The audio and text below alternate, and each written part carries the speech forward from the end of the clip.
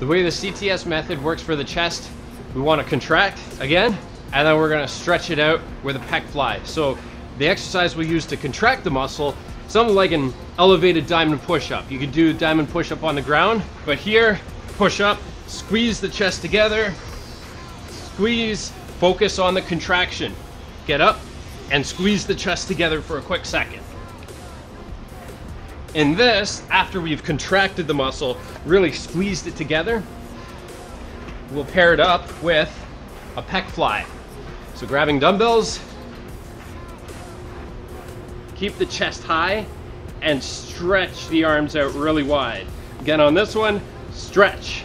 Don't bring the dumbbells all the way up. It's all about focusing on the stretch and then back up. Focus on the stretch.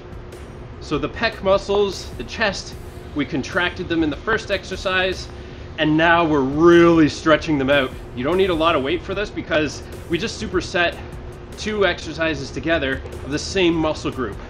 Go nice and easy, contract them in the first exercise and stretch them out in the second exercise. Focus on the stretch here.